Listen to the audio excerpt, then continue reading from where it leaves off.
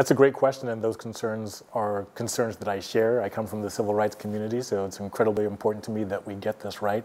And that's exactly where we are with the PSA. The idea behind the PSA is to try to create a neutral tool that reduces exactly that kind of bias that can be introduced into the system. When you have a wealth-based detention system and when you have uh, judges making decisions based purely on instinct or feel, that's when you end up introducing bias into the system. We know that for sure.